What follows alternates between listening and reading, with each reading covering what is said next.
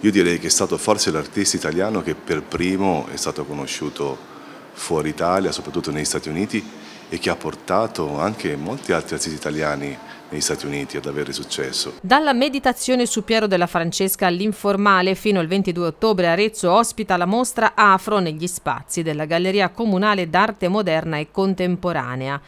Appuntamento prestigioso da tutti i punti di vista, sia come artista ospitato, sia come percorso scientifico di questa mostra che ci restituisce un afro da, che parte dagli anni 30, giovanissimo, e che ce lo porta dal, dal figurativo fino all'informale. Partendo dalla dichiarazione dello stesso Afro di fronte alle opere di Piero della Francesca, l'esposizione volta ad indagare i rapporti tra Afro, la pittura classico-rinascimentale e i grandi maestri del passato, focalizzandosi in particolar modo sulla tematica della pittura murale, che occupa una posizione privilegiata nella produzione di Afro e che costituisce per molti aspetti ancora una ricerca inedita sull'artista.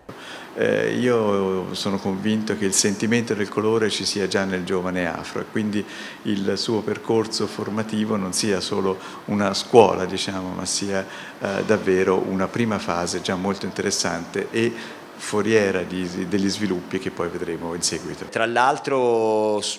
prezioso come appuntamento perché questa mostra è stata anche l'occasione per riallestire e in parte ristrutturare la galleria comunale eh, che sicuramente in questa nuova disposizione riabbraccia la, la piazza di San Francesco, abbiamo riaperto eh, gli affacci sulle finestre e soprattutto poi anche la parte espositiva ha sicuramente avuto delle migliorie.